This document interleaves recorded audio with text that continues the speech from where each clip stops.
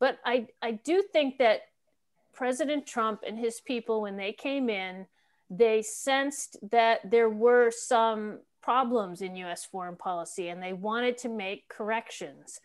Um, and I would say that to be fair, two broad things that Trump and his people did with respect to China policy were actually um, helpful in this.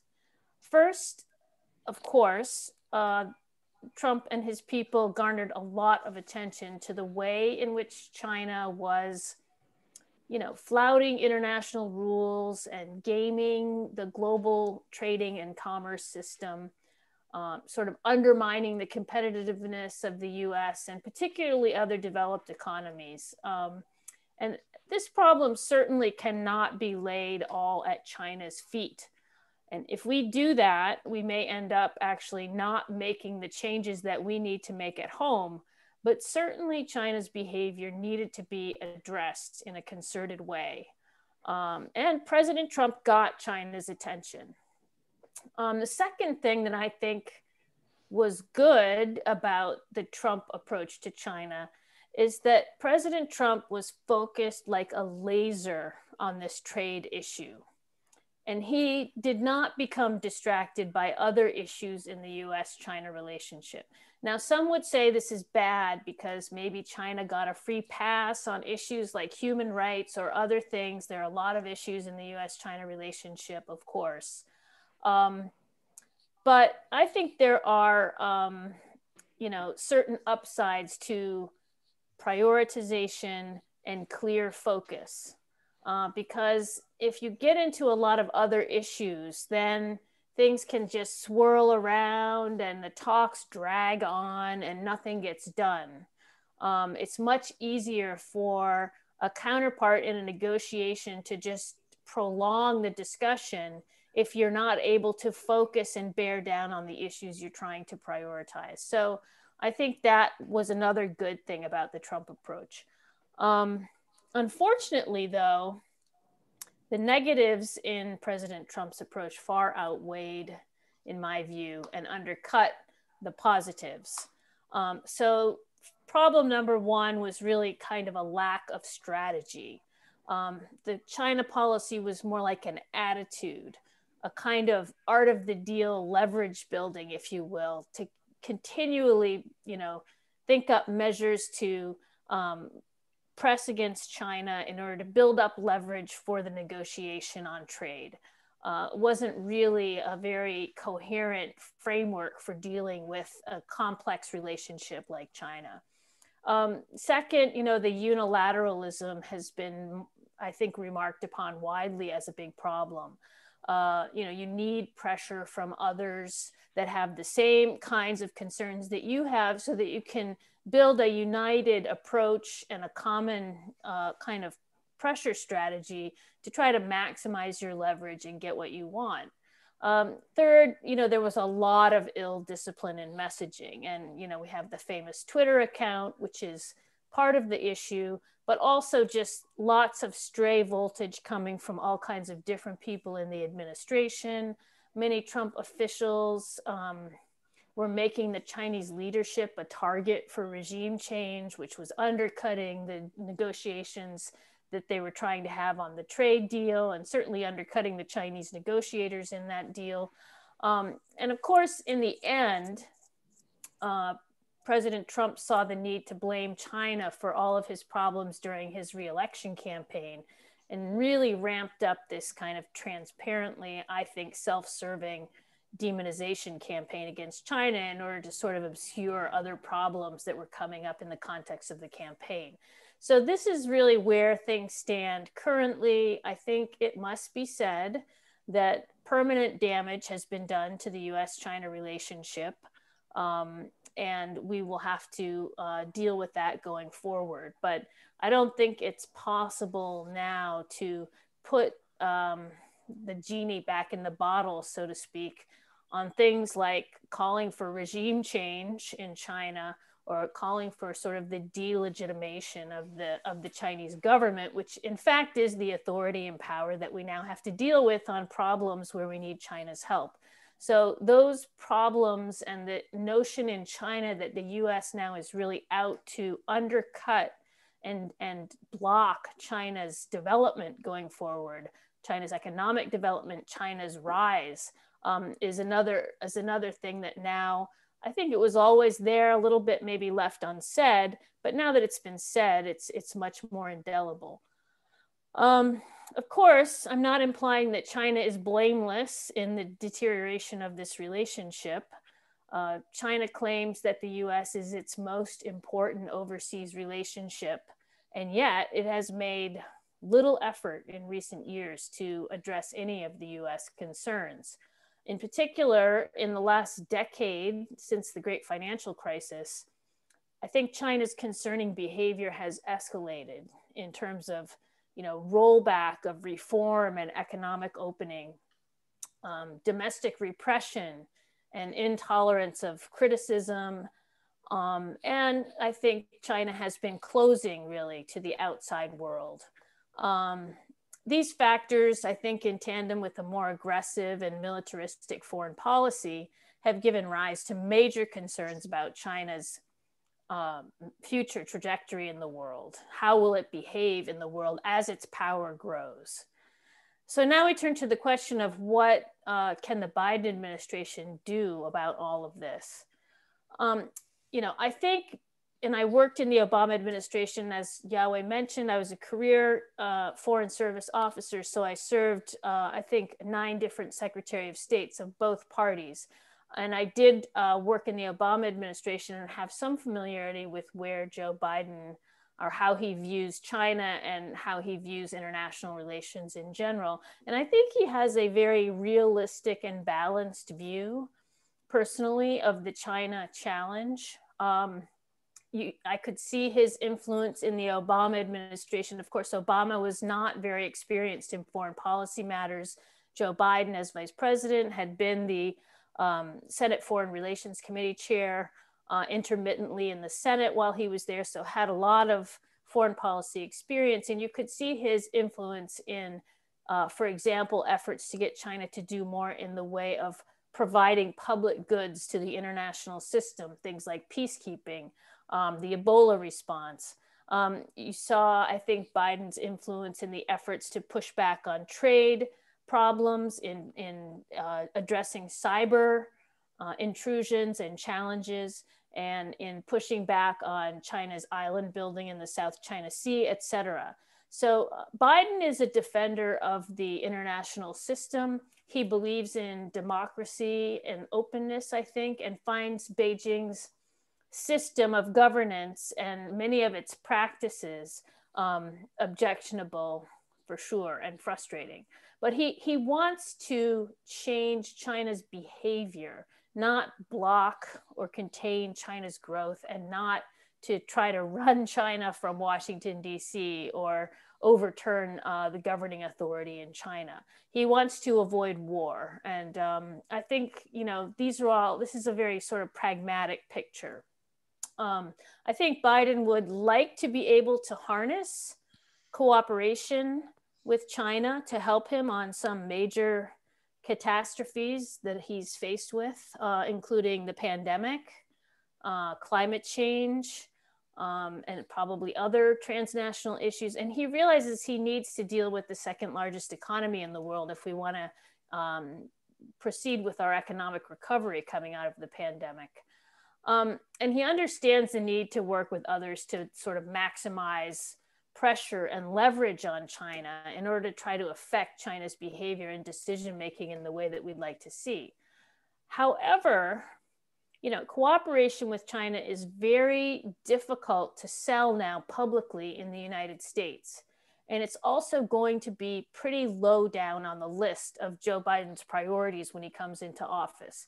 Um, and he's listed those, you know, the, the getting out of this pandemic is job one, two, and three um, having some kind of economic recovery, addressing US healthcare systems, uh, addressing racial inequality and discrimination, and dealing with the uh, threat of climate change. And, and none of these are strictly foreign policy issues per se. Um, but I think the likelihood of divided government coming in the future, and you all in Georgia have something to say about that apparently. Um, but it's likely that we'll have divided government, um, and that probably means that domestic priorities are going to be difficult to prosecute. And that may mean that Biden will look to some early foreign policy wins to show, you know, that he's moving his agenda forward. Um, I think he will try to leverage some COVID stimulus uh, for getting some of his domestic priorities moving, but but I think that will be difficult. So he'll he'll he'll move out quickly to try to show U.S. leadership in the international system. I think he'll rejoin multilateral institutions. Um, you know, starting with the WHO, probably prolong the arms agreement with the Russians, the New START treaty that's about to uh, expire. He'll rejoin the Paris Accord, things that we've all heard about. Um, and I think, you know, much has been made of this effort also to try to get, you know, our allies on board for a united front against China, sort of hold a summit of democracies, if you will. And I think, you know, this is understandable. And we talked about the problems of Trump's unilateralism. So this could be useful if it injects some kind of uh, lift into the performance and competence demonstrated of, of democracies and the development of kind of a coherent assess- assessment of how to uh, reform the international system. But I think if a big summit of like minded countries, democracies, focuses solely on China, it's not going to be successful and not going to achieve the goals it set out to achieve. Um, I don't know if the Biden administration is going to avoid the mistake of making the US China relationship into an ideological contestation or not. I don't think that's what Biden wants to do, but he does need a story so that he can get resources for what he wants to do out of Congress for things like research and development money, uh, innovation, infrastructure building, et cetera.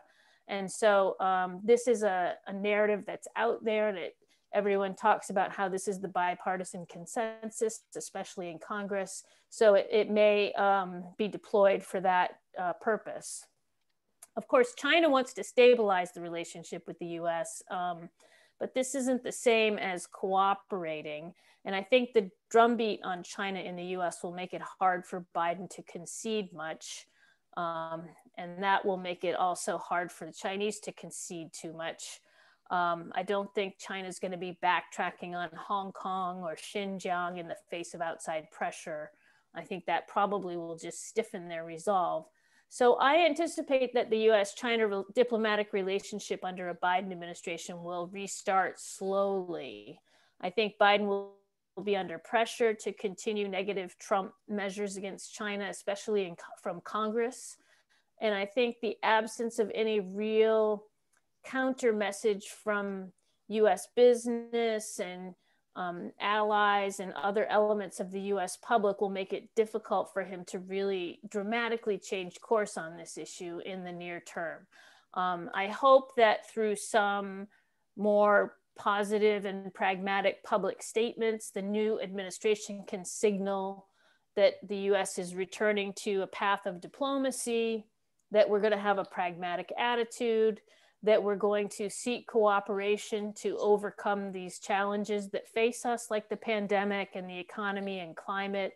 And I think, um, you know, if we can do that, that will set us on a better path than the one we're on right now but I think it's, you know, we're in a hole and it's going to be a climb to get out of it. And we need to see effort, not just from the United States, but also from our Chinese counterparts to get things back on the right track.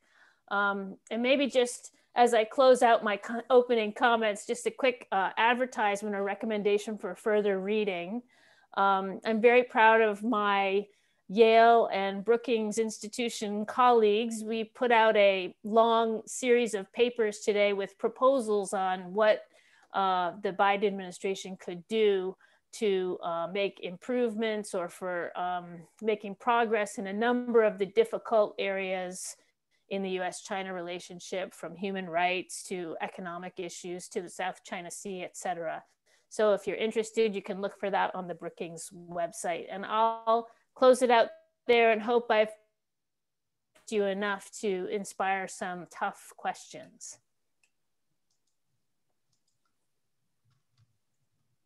Honey? Okay, coming. there we go. okay, great. uh, Susan, great. Thank you. Thank you so much for that very valuable, balanced overview. The issues are, are clearly challenging. um, but let, let me start by asking you the, um, you made the point that China's behavior internally and externally has tended to go, um, you know, concerning behavior has increased at least since the financial crisis and more and more recently even um, with internal and that Biden would like to change that behavior. Of course, changing China is always a, a, a fraught activity. But I want to ask you, why do you think these changes have happened within China? You know, what's how can we understand from China's perspective what's happening, and therefore maybe we would have a better way to respond? Well, I can try to answer that and get inside the heads of our counterparts in China, but I'd be curious too to as to your answer to this since you've also spent a lot of time with Chinese counterparts. Um, you know, I I do think that the great financial crisis, as we cleverly renamed it to deflect the origin away from ourselves, um, did give Chinese leaders a lot of pause and sort of changed um, kind of the way they looked out at the world and thought about what they were doing as far as um, you know kind of following the us model and integrating themselves into the international system. I think they they saw more dangers than they had realized um, maybe were out there. And of, of course the chinese system has always been good at seeing dangers. It's it's it's a kind of a fragile brittle let's face it uh, governing system. I mean Yawei talked about what happened in 1976 and um, 1979 and and it's been it's been um, you know kind of ups and downs and so i think uh, you know the system is very good at seeing dangers and overcorrecting overcompensating for perceived dangers and i think we've seen that really since the great financial crisis probably in not just the um, sort of rolling back of kind of the reform and opening agenda in the economy, but also, of course, the you know repression against internal um, dissent. Uh, of course, the um, sort of a lot of this is being done under the cloak of kind of systematization and uh, regularization. So, for example, you had the foreign NGO law that was passed Mm-hmm. Um, you know, it was a long time in coming. They kept telling everyone it was coming, but nobody expected it to be as draconian and obviously aimed at making it very, very difficult for civil society organizations to operate in China as it was. Now, maybe we should have expected that, but I think that is, um, you know, a reflection of many, many things that have happened, you know, crackdowns on sort of uh, rights lawyers in China and all kinds of other areas um, internally, uh, not to mention more recent developments such as things happening in Xinjiang and Hong Kong. So, you know, if you look across the board, it really looks like there is um, a, a lot of worry. And of course, Xi Jinping constantly talks about how we're faced with the period of greatest change not seen in a hundred years and that's not a good thing i don't think from where they sit. I mean they are busy kind of building up defenses um, seeing threats and trying to prevent them from coming to the any closer to the doorstep that kind of thing. And this i think explains a lot about how the us china relationship has developed in the last 10 years actually.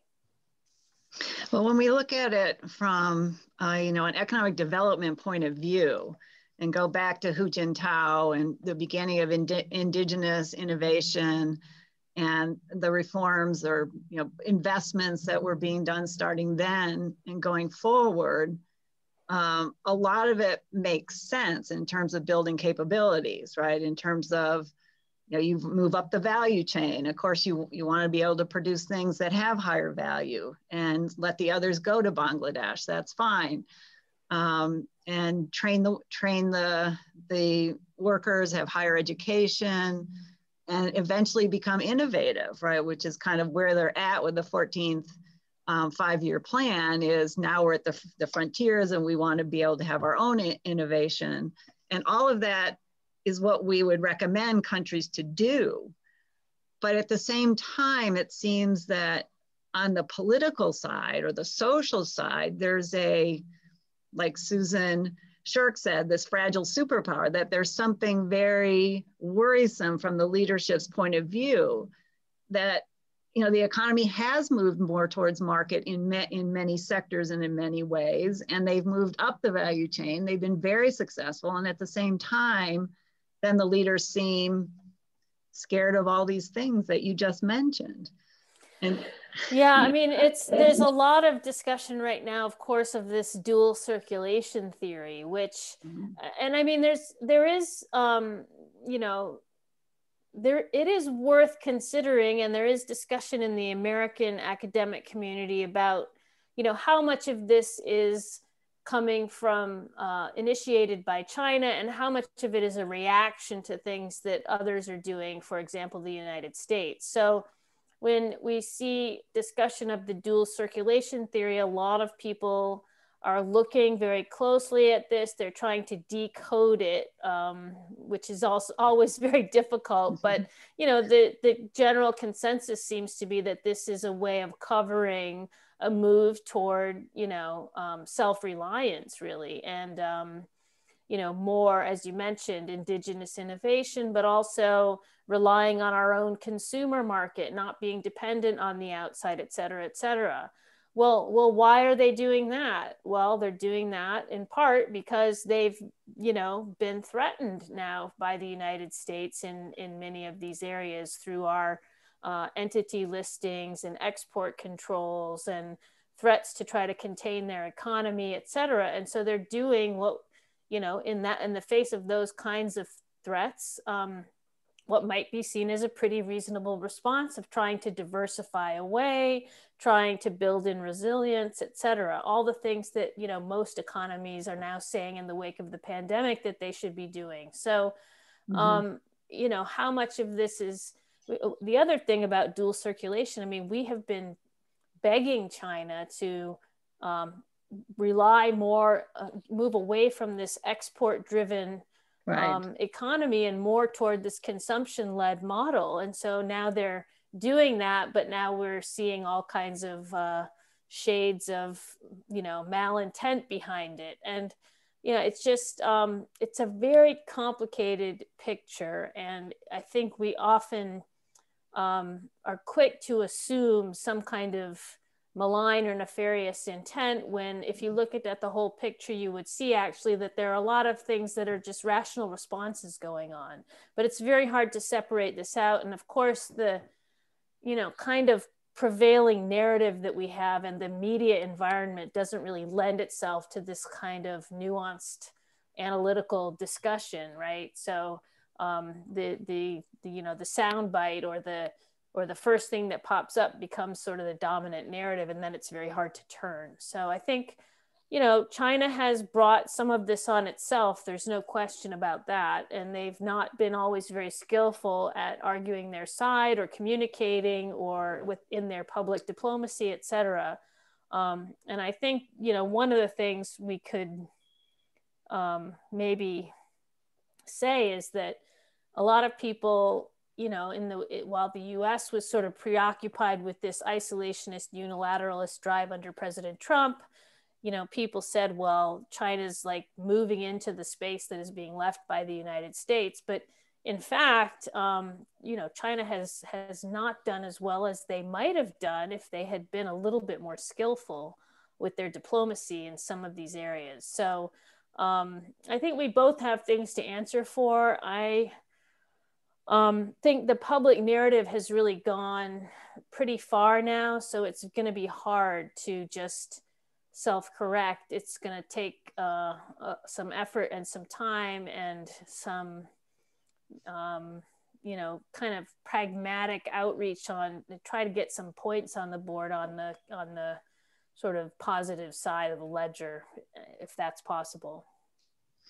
Yeah, on the um, on the innovation side, um, you know, the 14th, the new 14th five-year plan has many mentions of innovation, but it also has many mentions of security and national security, building national security, um, and and technology. And from our side, with the export controls, and now even this week, the Trump executive order for US investors not to invest in 31 companies.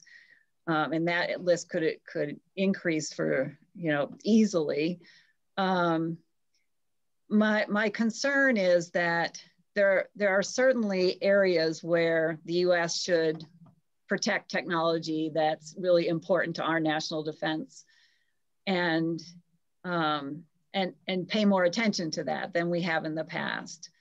But the way that innovation works these days is that it's much it's very cooperative and there's comparative advantage all over the world and expertise and they come together and they create new new ideas and new technology and and all of it because of the internet the the ai pieces might be considered national security right the whole yeah. digital anything that's digital is potentially used in the military. And so we really need to figure out a way to isolate what part of that innovation is really needs to be done close to our chests and the rest can be done openly. Otherwise, we're going to lose our technological edge too. Yeah, I can I completely I completely agree. I mean, I think the connections between economics and technology and national security are being overdrawn. Um, certainly, there are some technologies that are sensitive. That's always been the case. I mean, that's why right. we had this COCOM export control regime when the in the time of the Cold War with the Soviet Union. Um, but the problem now, as you mentioned, is that you know military and civilian are, are basically the same. I mean, we we we have civ, civ mil fusion. This is something we always hold up as a bogeyman on the part of China, but I mean this is the fact uh, uh, around the world that that you know dual use items are very prevalent now in the military and clearly not all technologies are equally sensitive and we need narrow targeting um, of the most sensitive technologies and we cannot aspire to create this zero risk environment that we seem to be going for now. I mean, that is just too expensive. Um, so we need to maintain open access to technology platforms. And we, of all people in the world, we are the United States of America, we're for openness. We should avoid creating a world of separate technology zones. This will be incredibly debilitating. Um, we need to maintain access, open access to, to common platforms. Um, this is what we need for our sort of com- commercial and economic future, our, our spiritual and cultural future. Um, all of our inherent advantages would, re- would rely on that. Um, but right now, really, no one seems willing to compromise. Um, we could end up in the worst of all worlds with a sort of a US based platform, a EU based platform, and a China based platform. And I, I'm not sure that that ours would be the largest, you know, have the largest area if, mm-hmm. if that was the case. So I really think um, the U.S. is farther behind in thinking about this in in some ways than either the EU or China because we have left it in the hands of the private sector and not done much regulation um, and it seems to me that you know the the train has already left the station in some ways in Europe and in China, and uh, we need to get in the game. yeah, well, this definitely should be part of the Biden administration's story, as you say, that somehow pull together the benefits of this openness and cooperation with China is just one of the pieces, right? As you, right. as you suggested with the allies, it's best to work with allies in a broad sense, not our allies against China. Right. Because that's going to create lots of problems, obviously. And so if somehow the Biden administration could create that the, the story where we are America's open to, to work with the world again and then put a technology spin on that, put a political spin on that, put a climate change spin on that, then maybe that would work. Right. I mean, I do think that, and this gets to a much bigger theme than US China, but I do think that, you know, we we never really had a conversation in the, in this country about you know what we were doing in the world when the soviet union collapsed we just kind of mm-hmm. went into this democracy promotion and interventionist and unipolar superpower mode um, and i do think that now the biden administration has a chance to kind of have that conversation but the problem is we're faced with so many domestic challenges and people mm-hmm. are so preoccupied with those that it's probably not going to happen and you know, until we really come up with what our vision is, I think it's very hard for us to get back into the to the game of what we should be doing and and all sort of pulling in the same direction. And there's certainly a lack of consensus in, in, in the country right now, obviously, about U.S. you know purpose in the world and what we should be doing out there. Um, so I, I, you know, and, and the U.S.-China relationship is a big is a big part of that, but it's also going to be carried along by, you know, what happens in that space, um, one way or the other.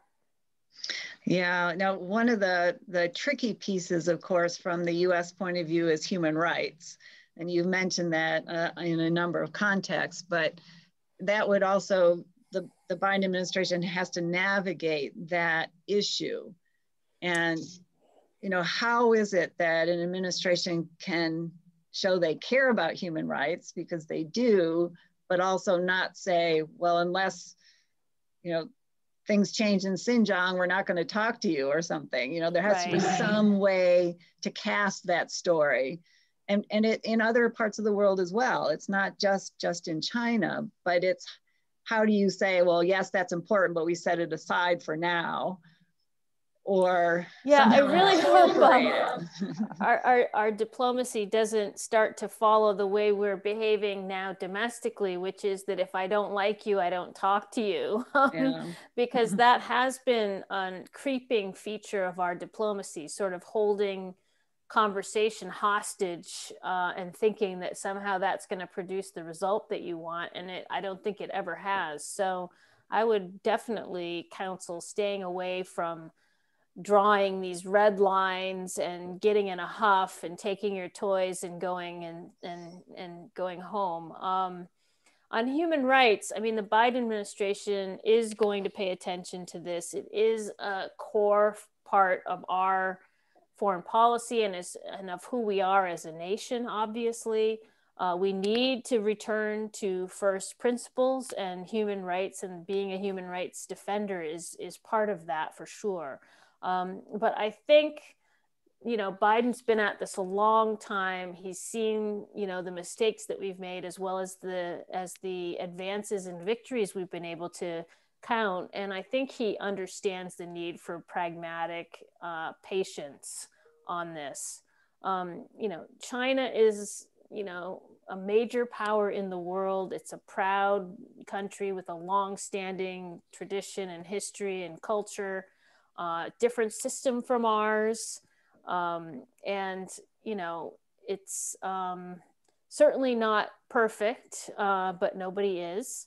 Um, I think the thing to focus on is that China has signed up to certain international rules and standards, and those are certainly relevant, both for, for China's own reputation, but also for our expectations and treatment of China going forward. So we we can raise human rights issues bilaterally and we do and we should. And i've always been a proponent of the human rights dialogue even though it infuriates the people that have to participate in it. And i have been one of those people on the other side of the table. Um, but i still think it's very important to listen to what um, the chinese say they're doing and then to talk about what we perceive them doing. I mean this is if you're not with two such different systems if we're not doing that then we're just getting nowhere. Um, and so you know as frustrating as it may be we have to do that. Um, but also the multilateral arena is really key to human rights issues because um, you know it is a matter of china's governance most of these issues. And if you you don't want to make it one country's you know um, against against another. You want to have it couch it in terms of international rules and standards, and that China needs to live up to its commitments and try to press um, through the multilateral uh, venues. Um, but in the end, I mean, I think the thing we have to realize on the human rights account is that China is going to need to make these changes itself. And um, you know, sanctions and penalties can do two things. They can make us feel good because we did something, and they can, um, you know, stop some actor from getting some piece of equipment or some uh, monetary transaction or something. But they're not very good at actually changing behavior um, mm-hmm. of a government. So as long as we're clear about what we think we're going to get from doing these penalties. And as long as they don't cost too much, I suppose you can do it. But there are costs to these things, and it's not likely to have the desired effect. So I think, you know, I'm not uh, as enthusiastic about sanctions in response to everything as a lot of people are now currently in both the Congress, but also the students in my in my classes at Yale, um, because I what I see is these measures just make other governments, and not just the Chinese government. Um, I've worked with a lot of governments around the world, um, and you know they tend to just dig in when you do things like this. So um, I would be a proponent of of working more pragmatically and constructively on these issues with an eye toward it's going to take a while and they need to come to it on their own. Yeah. Well, one more topic before we open it up to the to the audience. Um, there's a, a, a range of opinions, it seems, at the moment and analyses about how assertive or aggressive China really is in, in Asia in particular. Um, you know, is China expansionist or not? And it goes from no, it's not and hasn't been historically to yes, it's terribly aggressive and it's going to take over the world kind of analyses. Um, and you talked about, you know, China being, um, you know, not great behavior in certain aspects of the South China Sea with the islands, of course, and so uh, other kinds of, of actions uh, in, in Asia in particular. What, but what is your take in terms of how, how expansionist China is behaving now and what you expect in the future? Yeah, this is the favorite, you know, Washington uh, um, sort of cocktail hour conversation or academic roundtable conversation.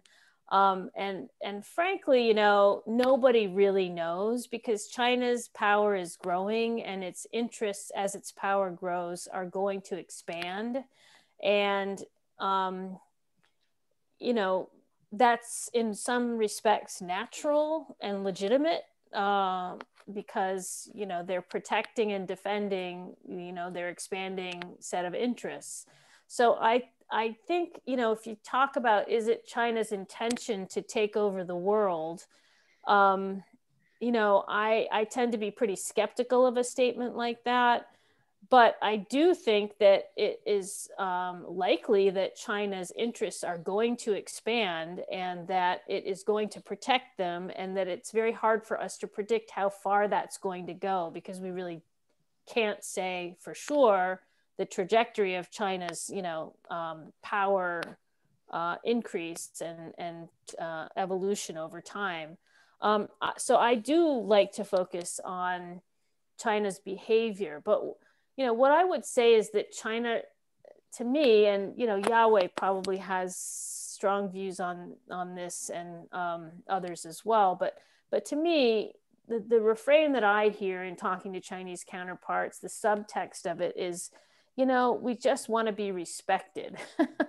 and they feel that they have not been respected. They have not been acknowledged as legitimate, as a legitimate major power. They are treated as different. And you know, and this relates to history and insecurities about the legitimacy of their system, et cetera. Um, and, you know, it's very hard for the US in our system to confer this legitimacy in this respect.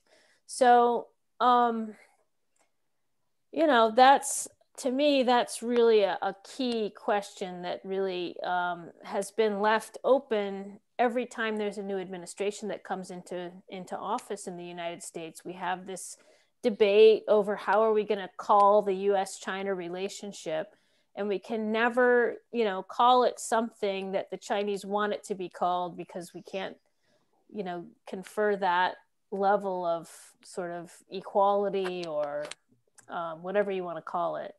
So I think you know that is kind of a central issue in the relationship that remains to be resolved but i'd be curious um, to hear what you think about that.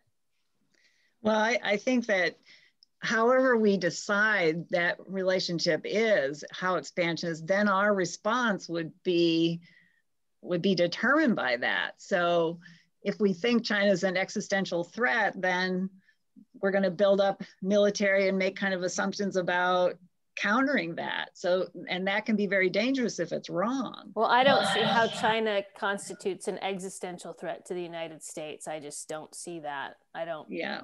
That's not well, my position, but, and I look with skepticism upon people who say that it's an existential threat to the United States and our way of life. And it's, you know, these kinds of things that keep being said yeah um, but there are those are out there right yeah but i don't think there's much yeah. justification for it no I, heard, I, so. I, I agree but i think that that characterization then becomes part of the story and so it can it, it's something that's very it's really important to get right or at least be patient as you're suggesting right yeah i mean there is this sort of um you know effort at mobilization um, and I'm not sure how compelling it is for people um, outside the DC Beltway, at least. Um, you know, I don't think most people think of China as, um, you know, being that much of a. I mean, that they're out to sort of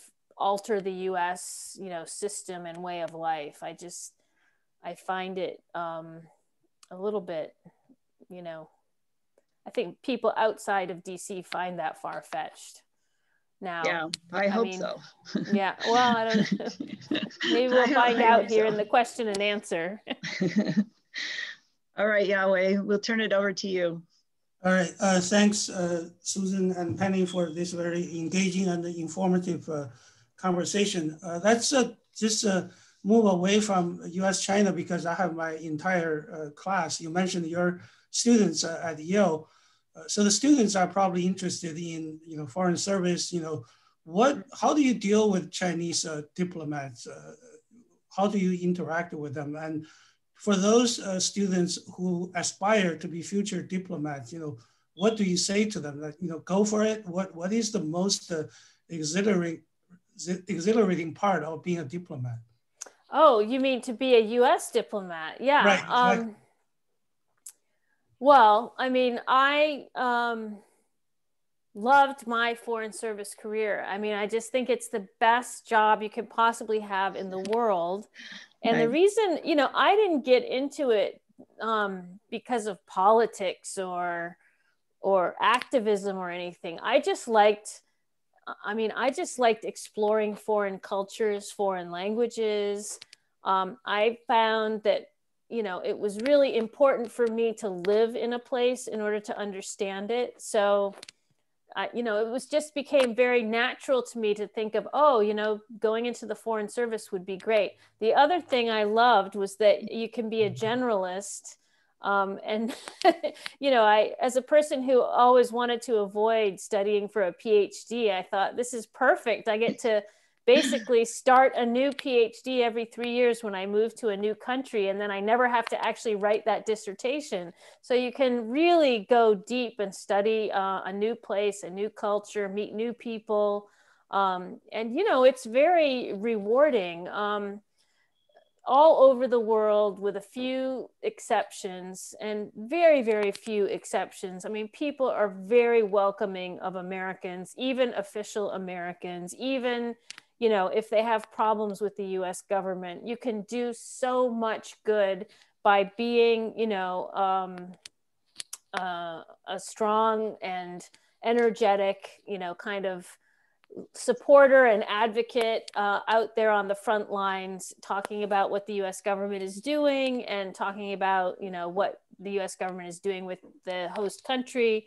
Um, it's just it's just a fantastic uh, career. And I I got I I they taught me two years um, of in, intensive Chinese language. So there's a lot of benefits to be had if you're if you're interested in sort of languages and travel. And um, of course you know you come back to washington d.c and you get to uh, be at the center of the policy making whirlwind there. And uh, see up close how the sausage gets made with his, which is also fascinating if a little frustrating at times. But i, I think um, you know and the thing i will say is and Yawei can back me up on this i mean the colleagues you have in the foreign service are just some of the best people you'll ever meet in the whole world and i, I miss them all every day. Um, my state department and other uh, foreign service other agency colleagues at embassies or being back in washington it's just a great group of people to to spend your life with. So um, i couldn't recommend it more I don't know, you know, other, I mean, maybe we have foreign citizens watching that want to think about joining their diplomatic service. I w- must say that the Chinese diplomats are some of the best I've ever met. Um, they are very good at their jobs. They work very hard and they do a good job representing their country. And, and, you know, I, I still keep in touch with a lot of them on WeChat. Um, you know, they're, they're they're tremendous uh, resources and terrific counterparts in human beings. And so i just think it's it's a great area to to to devote your life to. Thank you for, the, for that answer. Uh, we do have a lot of questions uh, in the q&a i'm sort of uh, going to group them together. Uh, so the, the one question is on on the uh, trade war. So will the biden administration unilaterally or in negotiation with China to bilaterally uh, eliminate the, the tariff. Where do you see uh, phase two uh, of the trade uh, negotiation? And third, uh, China and other countries signed RCEP. You know, will, will this uh, impact U.S. calculation and, and decision in, in the area of trade? Yeah, these are great questions. These are questions that everyone in Asia is asking me, and uh, also questions that are really hard for me to answer uh, because, you know, President elect Biden on trade has a pretty tough road to hoe, I would say. Um, you know, the American population is pretty skeptical at this point of, of trade, of uh, kind of globalization, of dealing with the after effects of globalization, mitigating the effects of globalization is a, is a big, has been a big theme on the campaign trail, and it's going to continue to be a big theme here. So, you know, I think that obviously Joe Biden has been a proponent of free trade in the past, certainly. Um, he's now got to deal with domestic constituencies that are skeptical and a Congress that is probably going to be skeptical. So um, I think he will look to work on trade with China. I think the phase one trade deal needs some surgery, and probably both China and the US, the new Biden administration at least, will feel that that needs to be um, looked at and discussed. Uh, certainly, uh, the Biden administration would be more interested in a phase two type of discussion with China than the phase one uh, managed trade type deal that was negotiated. So, and, and, there was discussions with the Chinese ongoing under the Obama administration. They didn't get concluded, but they got close to being concluded. And the Trump administration has had taken some of those issues up um, uh, as part of a potential phase two. So I think that that could continue. I don't think this is going to be the first thing out of the box, though. Um, and I'm not sure that the tariffs that are currently on China are going to be adjusted immediately. Maybe there will be some small adjustment early on, but uh, not a big adjustment. I think that the tariffs that are most likely to come off first are going to be the 232 tariffs on steel, which hit basically everybody, including our allies. Um, so that's not mainly aimed at, at China. Um, and so we'll just have to see, you know, how quickly he engages with China on trade. I mean, I think, as I mentioned in my remarks, the, the, the first kinds of moves are going to be in trying to sort of consolidate more um, the relationships with the allies that have been undermined in the last few years and try to get things straightened out there first. But, um, you know, I think a discussion with China on trade will certainly have to come. I would advocate that it continues. You know, you have to say that the one thing under the Trump administration that um, that did sort of uh, surprise is that Robert Lighthizer, who started off as the biggest anti China hawk, became the biggest defender of this phase one trade agreement and good friend of Liu He by the end. And he, I'm sure, in the course of all those conversations, learned a lot about the Chinese system and the Chinese economy and the realities of the world, et cetera, et cetera. And that's what you get from a negotiation um, that you don't get in just a dialogue. If you're negotiating with someone, you're really, it's a mutual education session, really. And you're learning a lot about the nuts and bolts of how things really work and what are the real constraints. And I think that should, should continue. But I, I can't uh, say that it's going to produce early fruit. Um, I know the question about RCEP, you know, this was a um, negotiation long in the works um, and I think it's, you know, certainly important for the region that it got to be concluded. I know the countries in the region that were party to it are quite uh, happy about it. Um, it was supposed to be sort of that was going on at the same time as the negotiation of the Trans-Pacific Partnership was the APEC-based um, sort of uh, trade liberalization agreement that was being negotiated simultaneously with RCEP. Of course, the US dropped out of that under Trump on the first day of his administration. It was, uh, you know, salvaged by the CPTPP 11. But, um, you know, I, now we have these two trade agreements in Asia, and the U.S. isn't in either one of them. And I think that that is not an not an ideal situation, just to put it mildly.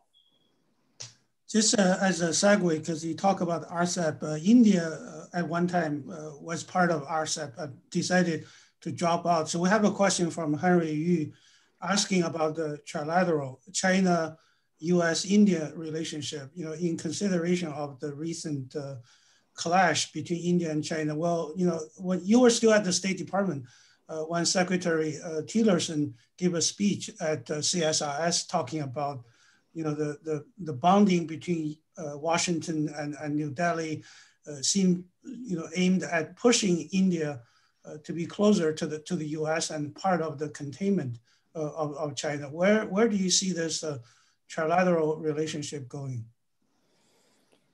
Yeah, um, so I was definitely still in the State Department when we uh, put forward the Trump administration's Indo Pacific strategy. Mm-hmm. And the, my way of thinking about that strategy was that it was mostly um, a kind of a continuation of um, the process that had started under the Obama administration with the rebalance to the Asia Pacific. And the idea was, you know, the US joined the East Asia Summit and we became more involved in the architecture in East Asia. Um, but part of that was also the idea was to get India more involved in East Asian issues uh, because they had tended to be uh, fairly, you know, self-isolated and not really engaged much in the East Asia uh, arena. And so, um, you know, the Indo-Pacific strategy was, you know, the Quad actually this uh, arrangement between the U.S., Japan, Australia, and India had started under the Obama administration, then run into trouble um, when the Indians didn't want the Australians to participate, et cetera. But um, I think that the courting of India and bringing India more into the East Asian kind of arena is going to be a very long process, but one that uh, most US governments in the future, and I think including the Biden administration, will continue to work on. It's not going to bear fruit quickly, um, and, you know, I think people who were following the RCEP negotiation process were probably not that surprised that India ended up dropping out.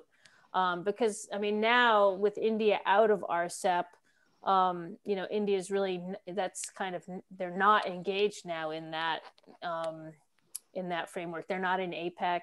So they're really just in the EAS. And then there's the Quad. And, um, you know they have been it's been hard to get them to sort of engage and i think we'll keep working on that but um, i don't think that india wants to sign up with the us for an anti-china um, kind of approach.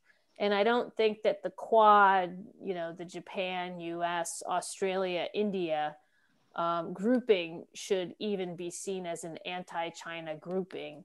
Um, really it's more about trying to get india in than mm. it is about trying to face off against china. I don't think um, that that it's going to be successful as a sort of an anti-china grouping. Um, but i think that this you know trying to get i mean us india relations have really been you know long i remember when under the bush administration nick burns was trying to get the one two three agreement for nuclear civilian nuclear cooperation with India. Um, so we've been working on the U.S.-India relationship for a long time, and it's it's coming along. It's improving, but it's very slow. And I think getting India into East Asia will also come along, but it will also be very slow. Um, and but I think we'll keep going on it. This uh, next question has, uh, you know, a lot of audience actually uh, are concerned is the uh, Justice uh, Department China initiative. Uh, it's to, to many of us, it's racial profiling. And, and Christopher Wray, director of FBI, in his speech said every 10 hours, you know, they open investigation of ethnic Chinese. Do you see that will continue to, to be at the Justice Department or uh, Biden administration may uh, review it and, and probably, uh, you know, fold it? I mean, this is a very good question. I think that this um, FBI looking at what, um, you know, foreign researchers and, I mean, and particularly Chinese researchers, um, what what they might be doing and what kinds of economic espionage might be happening had had really also picked up before the Trump administration. But I think unfortunately under the Trump administration it became this kind of um, this flag or this propaganda push um, public very public uh, you know named the China initiative. That was new and um, I think that that was unfortunate uh, I think the Biden administration will certainly, you know, they will keep up the efforts to look for uh, anyone who may be engaged in espionage or anyone who may be engaged in inappropriate conduct, but they will get away from labeling it, um, associating it with a particular country, i.e., China. And I think they will play down the public um, kind of campaign aspect of it, which I think has been you know, uh, well, Maggie Lewis has written at Seton Hall has written a lot on this. That it's um, it's really um, kind of outside of the bounds of what we would normally think of as as kind of the, our our our rule of law principles. Let's put it that way. And certainly, it has tagged the um, Asian American community, not just the Chinese American community, but, uh, but the whole Asian American community uh, with a brush of suspicion, which has led to some really horrifying outcomes. And I think that the Biden administration in general is going to be much more sort of principled on these kinds of issues and go back to basics. So I, I think I don't I don't think it's going to fold or go away completely, but certainly the character of it will be changed and it will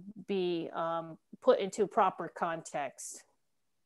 Thanks. Uh, the next question is uh, from Ray Wang. If you remember, uh, he traveled with you and me through the provinces, and he now is the librarian uh, of the University of New Orleans. And uh, he asked me to convey his uh, best regards to you, and hopefully you'll be able to, to travel to, to New Orleans.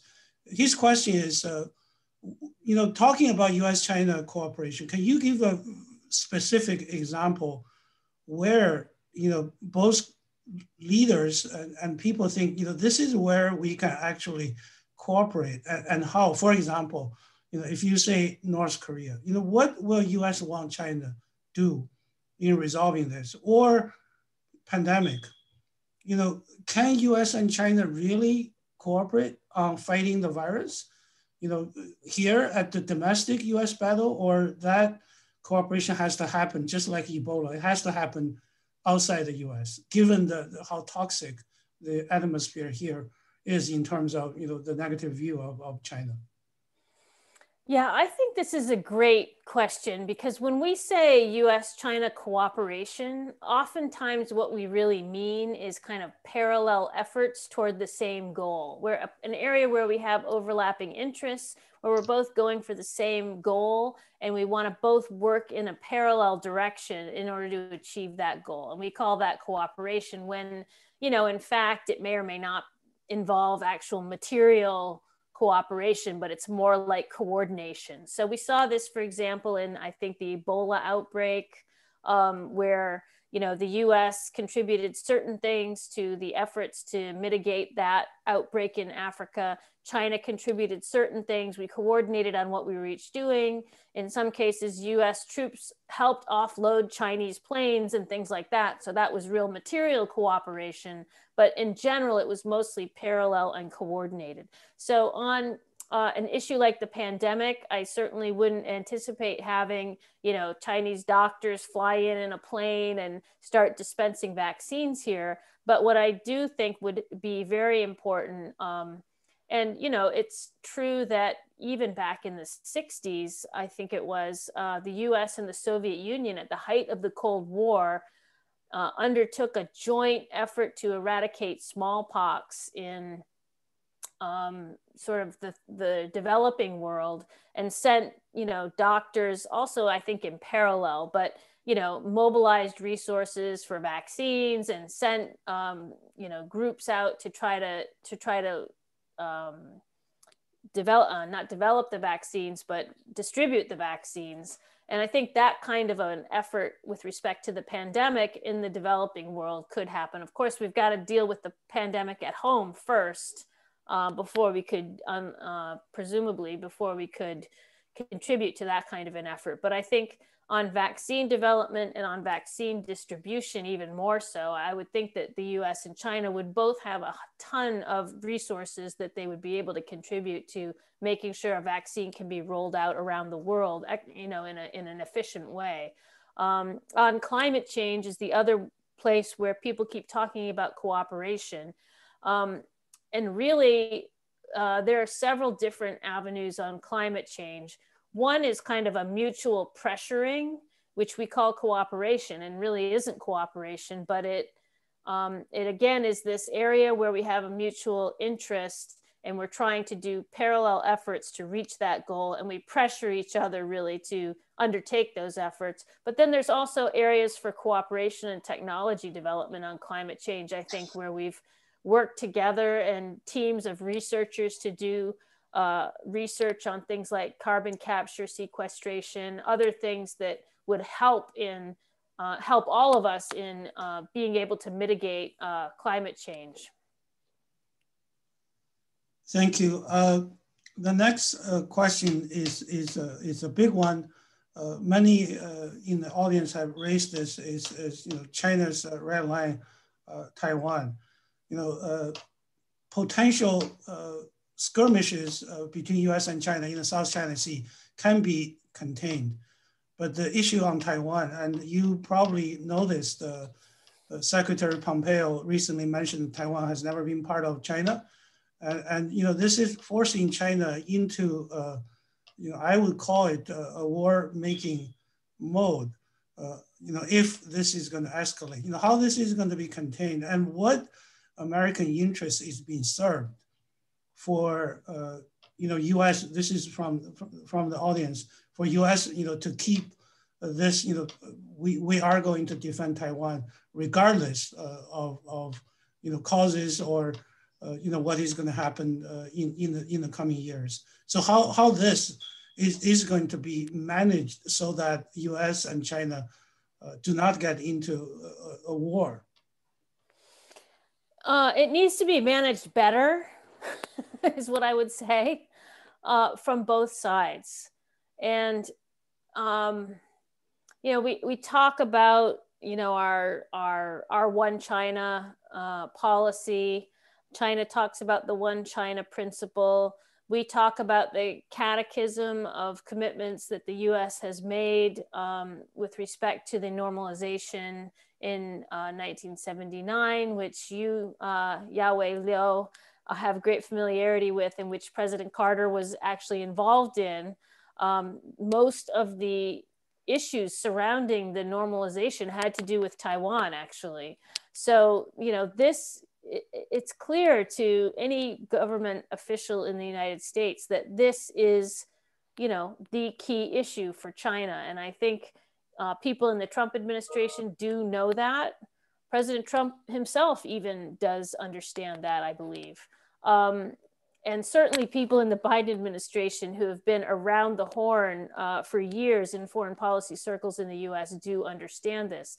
I mean, the, the real question is, you know, how far can all of those original understandings take us in dealing with a question, the nature of which has so fundamentally changed from 1979 till now? And I think you know, we really need to sit down and have some very serious conversations about, you know, how we can make sure that this issue develops in a way that doesn't immutably damage the interests of China and immut- or immutably damage the interests of the US or both of us. And certainly the US wants to avoid conflict. I think China wants to avoid conflict um, over this issue. But but but how is this issue going to be managed going forward in a way that uh, you know is not going to upset um, the work of the last 40 years of all of us i think needs to be discussed. I mean us um, the us takes very seriously its role and certainly the us congress in particular takes very seriously its its feeling that it is kind of the anointed uh, protector of um, the people on Taiwan and you know all of all that they have accomplished um, in their vibrant democracy and their very strong society, et cetera. And of course, um, you know that is not uh, appreciated by uh, people in China or or government government officials in China who who see that um, you know they have a, a, com- a completely different idea with respect to how things should go uh, in the future with respect to Taiwan. So I think this is a very hard issue. It's extremely complicated. I, I think in the Biden administration, you will be dealing with people on this question um, who will who will operate in good faith in trying to preserve stability and preserve the status quo. So I think we will be moving to a better place on Taiwan if we can get through the next couple of months. I don't, to be honest, think that the current team has always been operating in um, good faith on on this issue, uh, especially recently. But I, I hope that we can uh, show enough restraint to get through to a period when, and I think the sort of behavior of the Biden administration so far, the president elect and his team on this issue, even even so far since the election, has demonstrated that they have a certain amount of understanding of the gravity of this issue. Um, but you know, the U.S. certainly feels a, a, great responsibility to people on Taiwan, and that's not going to change either. All right, we're we're getting to the end uh, of of today's uh, presentation, uh, the town hall, so to speak. So one uh, quick question and one bigger one for you to to wrap up. The quick question is. Uh, uh, one audience asked about the Confucius Institute. But it leads to the question is, do you think China has this coordinated, uh, united front approach to try to penetrate American campuses, you know, state level government, you know, uh, state legislator, uh, and uh, Confucius Institute is a spy agency. Uh, is, that paranoia or is, is that uh, a real threat? posed by by China? Hmm. Uh, well, I personally um, would say that I don't believe that that that is the case. Um, do some people believe that that is the case? Perhaps. Are some people using that to make a political point? Uh, probably. But I think the problem really is that China and the Chinese government has shown increasing um, levels of um, you know sensitivity to criticism increasing interest in finding out who outside the borders of china is criticizing uh, the government and is um, going to greater lengths than ever before to try to gather that information and to pressure people as a result of that information. And I think that that is of great concern to people. So, um, you know, I think as long as, and I, I have a lot of trouble with the fuzziness of US analysis of this problem, frankly. Um, and I think, you know, Confucius Institutes are mostly just um, uh, helpful purveyors of Chinese language and culture um, um, availability. And I think that in a couple of cases, there may have been some things that people did that wasn't exactly in keeping with their charter. And you can look into those matters and you can, um, you know, correct them or, or whatever.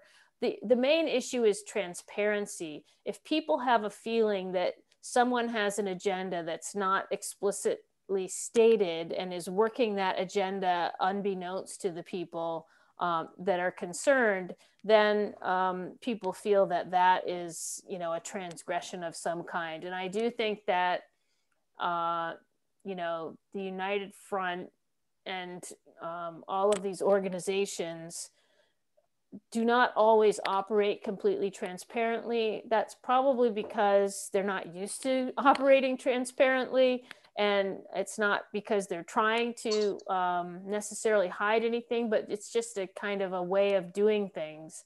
And uh, it has gotten them into some trouble i would say. Now certainly there are probably cases where people are bribing legislators. I mean there are things that people do that are wrong and those should be looked into and people should be held accountable and they should be exposed. But i think um, you know the transparency of what different organizations are doing where they're getting funding um, you know what kinds of things they are um, you know keeping tabs on etc would be helpful to dispel the notion that this is such a widespread phenomenon and that it's all about you know underhanded malign influence etc which i i don't subscribe to that but i think we need to undertake some rigorous reform of practices in order to dispel that impression.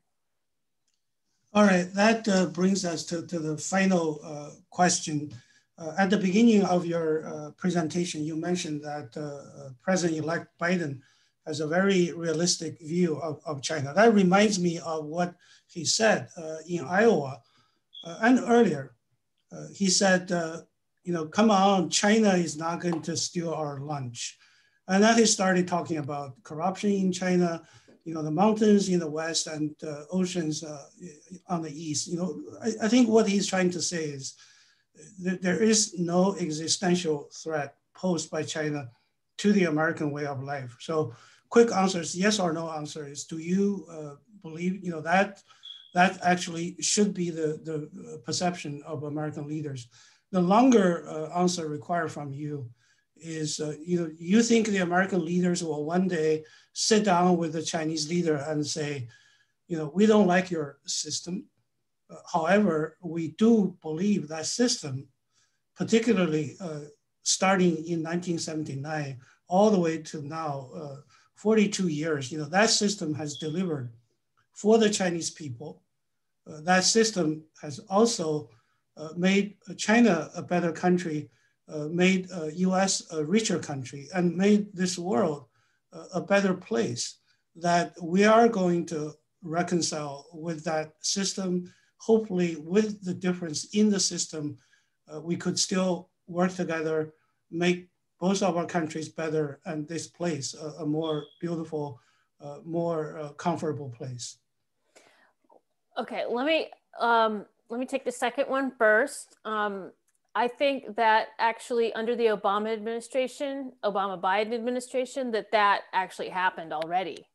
So I don't think that that would be a stretch to think that that could happen again. It would be harder to have it happen now uh, because of what's happened now in the last four years and um, because of the deterioration in the relationship, obviously, and the public rhetoric around all of it. But um, I think that essentially what you said, I mean, not word for word, of course, but the idea of it um, was uh, conveyed under Obama, um, you know, in settings with the top leadership of China. So, um, so that could happen again. I hope. I, I assume. Um, the first uh, question. Um, what was it again? It, it's the realistic view of, of China. Is China oh. is so bogged yes. down by domestic uh, tension issues that China never uh, will, uh, and certainly is not posing an existential threat to the U.S. supremacy and, and to the global order by the same token. Yeah. So to me, when when when um, when Joe Biden says things like, you know, China's not going to eat our lunch, what he's saying is that I am confident in the system that the American uh, way of life has uh, developed, and I am confident that we can continue to thrive uh, even in the face of competition with China. That's how, and he thinks we can prevail. I mean, he thinks the system in the US is resilient and dynamic, and he has confidence in it, as opposed maybe to the way that President Trump, you know, portrayed. Um, the competition, which was much more sort of dire and dramatic and, um, you know, uh, as you say, a threat to our way of life, et cetera. So I think that's really the difference. It's really coming from more of a place of what are they, what are they, what are they seeking to and, and aiming to emphasize about America as opposed to what it is they're seeing as inadequate or something in the in what China's doing. But certainly, Joe Biden spent a lot of time in China, and he knows um, the challenges that China faces. And I'm sure that he probably has, which I don't know if Trump has any uh, real feeling for the China's internal situation and the and the challenges um, that uh, Chinese leaders would face realistically. So I think Biden is talking about both of those things.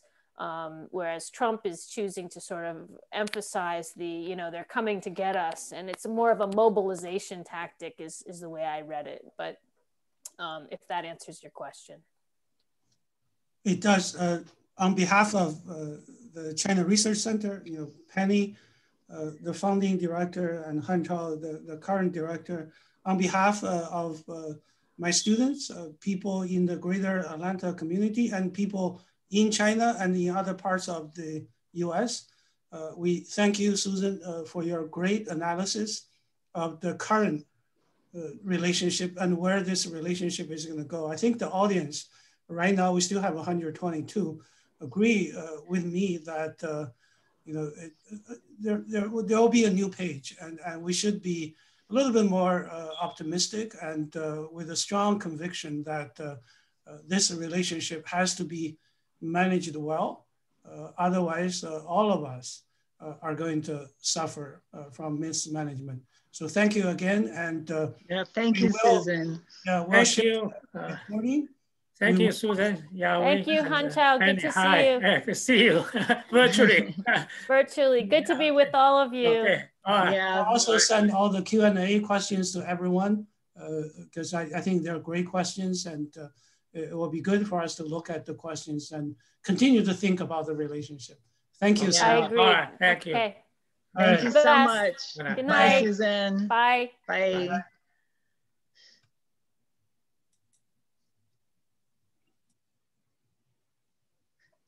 Uh, so Penny, just the two of us, uh, what I'll do is, uh, you know, because we have emails uh, in, in the Zoom, uh, just like what I did with the town hall, yeah. I will send, send a link.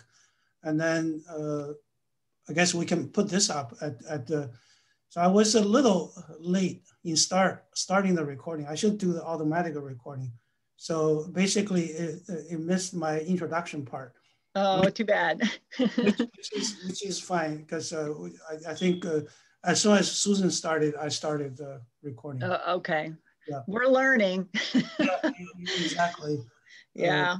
And really, thank you for taking the lead on this Zoom stuff. It's I can learn from you. yeah, sure. And anytime, anytime. All right. Thanks. And uh, I, I, saw you in the morning and uh, I saw yeah. you now and uh, I'll, I'll, see you hopefully on Friday too. Okay, great. All right. All right. Good night. Bye-bye. Bye.